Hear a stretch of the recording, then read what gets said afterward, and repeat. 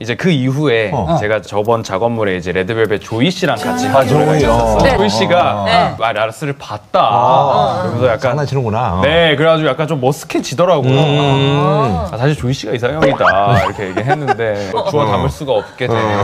그게 너무 화제가 됐어가지고